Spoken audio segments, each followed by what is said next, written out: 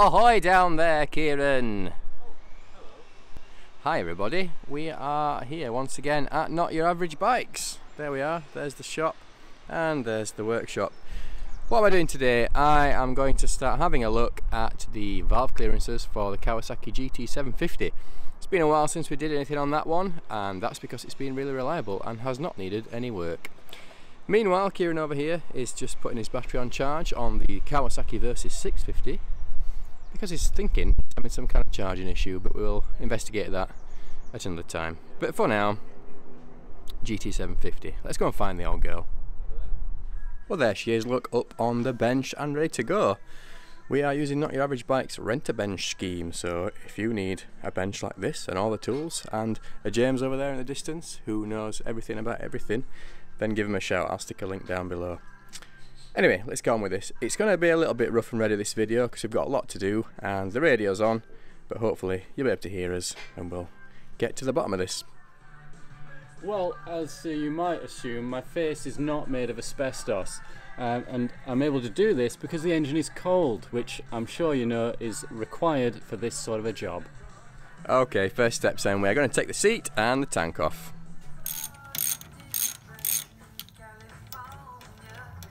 There we are then, seat and tank removed. Next step is to remove the spark plug caps. So there's one, two, and then two around the other side. And then we're going to remove the coils from the frame. The spark plug caps are off and now we're removing the coils. So we've got just a couple of bolts here and then that pulls down. Same on the other side, so we'll do that. Well there we are then, that's that one off. And now to get the other one. Uh, my spark plug leads are already labelled with which cylinders they fire in, so that's helpful.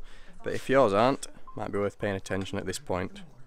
Just a quick note on this side of the bike, when we've taken the coils off, obviously we've got some wires and the red one was on the top terminal, green one on the bottom. And then over that side, we've got red on top and black at the bottom. Right now we're taking off the cylinder head cover screws. So we've got some 5mm Allen ones there and some 8mm bolty ones that are all over. There are many of those, so we'll do that now. Okay, we got a box with some holes in. Um, no, he's not planning to store a tortoise over winter.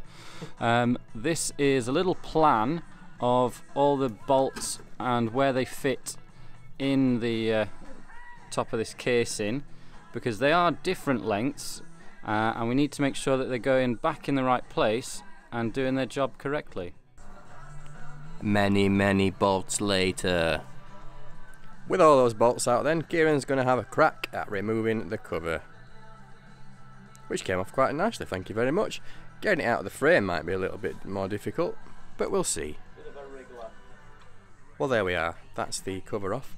And there was a little thing that uh, came out of there, this little plastic jobby. I've no idea what that does, I think it probably just helps to maintain tension on the timing chain but that came out so we've just slotted that back in. It's got arrows on it so you know which way it goes so just be aware.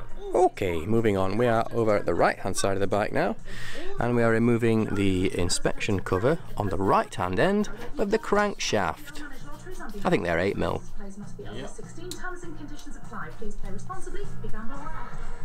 Right we've got the cover off the end of the thing there and Kieran's going to stick on a 17 mil spanner onto the hexagonal nut that's in there and turn that clockwise. Has to be clockwise. Please only turn that clockwise. That is clockwise. Right, now we're around the side, we can see a little bit more clearly what's happening.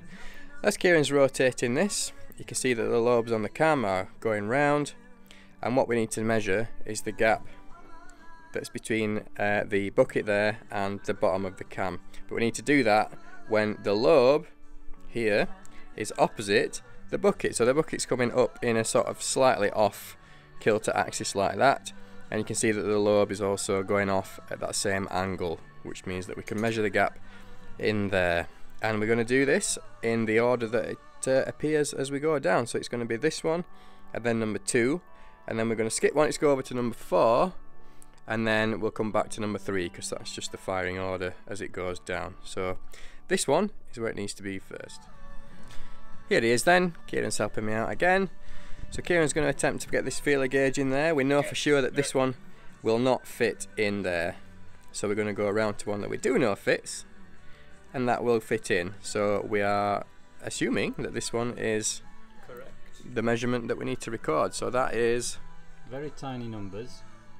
0.076 Point Oh. zero seven six. so we'll call that 0.075 which is what I've written there 0.075 forgive the scribblings. And then we'll move on to the next. So back around again there we go and we're looking for number two. Here to be pointing upwards opposite the bucket and then we measure that gap and write it down. And as I say then we're going to go over to the next one which will be 4 and then the next one which will be 3 and then after that we can go over and do the exhaust valves in just the same way. It's going to be 1 2 4 3 and eventually you'll get all these measurements written down and you can check if they are within tolerance. Okay we've got all of those measured. According to the manual, they should be between 0.08 and 0.18 mil, and they do wear tight. So this is what we've got. Uh, the exhaust on cylinder 1 is 0.13, so that's within that range, about in the middle, so that's good. And then 2 is 0.15, also okay. 3, 0.075, not okay. Number 4, 0.075, also not okay. Inlet, another 0.075, so that needs looking at. This one is 0.1, so it's within that range, but it is wearing slightly onto the tighter side, so we may change that one, we may not. And then we've got a 0.13, which again is fine. And then on this one, cylinder 4, on the inlet, we've got 0. It's not quite pinching it, we were able to turn the bucket, but we could not fit a sensible feeler gauge in there, so that one is the furthest out but we'll be looking at more anyway. Moving on. Now I've got those clearances measured then, we need to change some of these shims over. So to do that, we're going to have to remove the cams. And to do that, we need to nip down here and remove this thing here. There's like a little wedge in there which tensions the timing chain. So we're going to remove that and see if we can get the cams out, if that gives us enough free play in this chain to get the cams out. It might be that it doesn't and we need to remove these two bolts and the whole housing thing itself so uh, we'll start with this and see how we get on meanwhile in the garage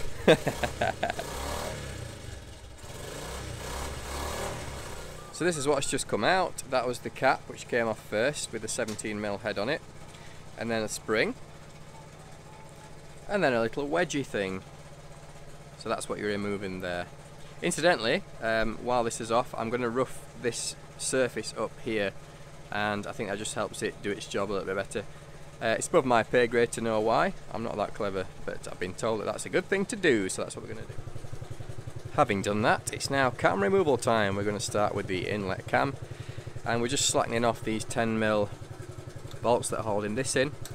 Uh, this cylinder here is the one that's under the tension so we're going to just be aware of that and It may be different for you. Yeah, depending on where you've left your uh, cam. For us, it's this one, but be aware that one of them will be under spring tension, so this one's going to want to push out, so just be aware of that. Well, there we go. We've got all the camshaft caps taken off. We've kept them all in the right order with their own bolts, so as not to mix them up. As we were doing that, some of the uh, little guidey bush type things were coming away. So just make sure you've got all those, don't lose those. Round the other side here then, you can see that we've got a Sharpie pen and we have marked the cam and the chain. Other brands of marker are available. We've done that on both sides. So what that means is when we put everything back together, we can see really quickly, really easily, if everything lines up. Hopefully so. So Kieran over here is now going to attempt to take out the camshaft and hopefully we've got enough slack in the chain. I will mention at this point that now we've marked up the uh, camshaft and the chain, do not rotate the engine, otherwise you'll throw everything out. So there we are, that looked like it came out quite nicely. So we're going to put that somewhere safe, so as not to mix it up with the exhaust one when that comes out. Onto the exhaust cam then, it's just the same process exactly. Okay, so we're ready to take the exhaust cam out.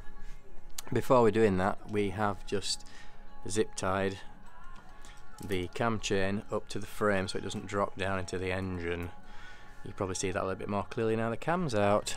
One other helpful bit, uh, there is obviously a marking on both that shows the exhaust and inlet. Yeah, so the other one said in IN on it, and this one EX exhaust. So with the cams removed, we can now see the buckets, and the shim should be underneath it. So you just need a magnet or something. Stick that on there, and pull it out. So there's the bucket, and the shim is actually still magnetized into the bottom of there. So there's the shim in the bottom. So I managed to find that shim in the bottom of that bucket and there you are, you can see it's in the calipers there and we've measured that at 2.65 mil. So we're going to go over here and you can see I've written that down 2.65 mil. So now we need to work out what the new valve needs to be and to do that there is an app. Right here we are then, this is shim calc free and you can see what we've done is we've put in the uh, existing 0.075 measurement, the current shim at 2.65, the minimum spec is 0.08 mil, and the max spec is 0.18 mil. And what that does is it gives you a new minimum or maximum shim size, and we're going to aim roughly in the middle for that. So we're going to need something about 2.6. So our new shim is going to be about 2.6 for this cylinder. Here we go then, some maths has occurred. And um, long story short, I'm going to leave that one and that one. This one wants a 2.4 and this one wants a 235, but that one already is 2.4, so that one is going to go there. And then I'll put a 2.35 in its place.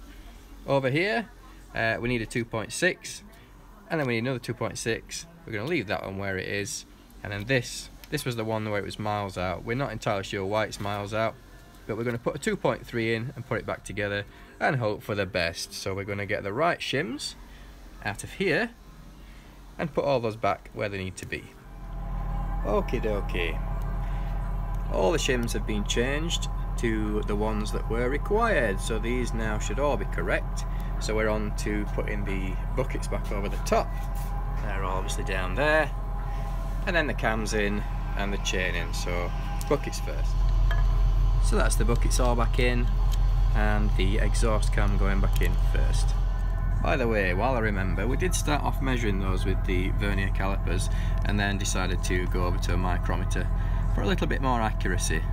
So we use the micrometer and not the vernier caliper. So with the cams back in, Kieran's going around and tightening down these uh, cam retaining cap bolty thingies and there is an order in which to do that and the order is this order here. Hope you can see that. That should make sense to you. So it's just a case of working your way around progressively so the cams aren't being uh, tightened down off kilter and they need to be set to a particular torque figure which is 1.2 kilogram force meters whatever that is um, I've worked it out at 11.77 newton meters or the internet has the cams are back in then and the caps tightened down to 11.77 newton meters all around. And you can see that the lines that we drew earlier on on the chain and on the cam itself they all line up. So what we need to do now is go around and do the valve clearances again. Okay so we've just done the valve clearances again and they are all within tolerance. I'll be honest at this point and say we had to do it again a second time because one or two of them were still slightly out. So uh, we have had more than one go at that but now they are all correct. So we're going to get to putting things back together. We've got this uh, side cover to put on. We've got the wedge type tensioner to put in. And also the timing chain itself looked a little bit slack to me so I might investigate that while we're in here.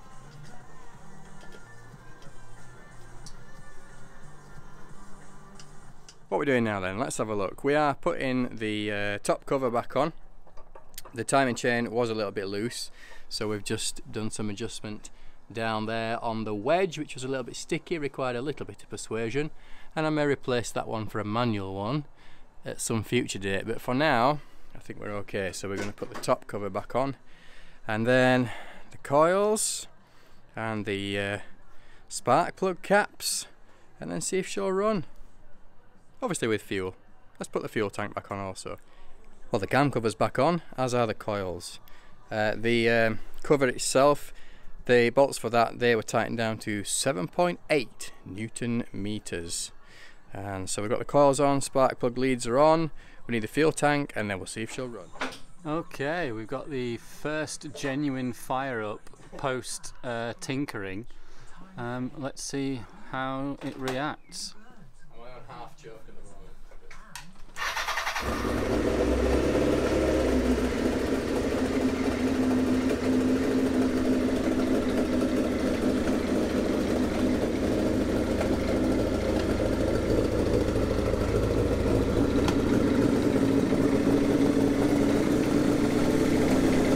Any clattery bad noises?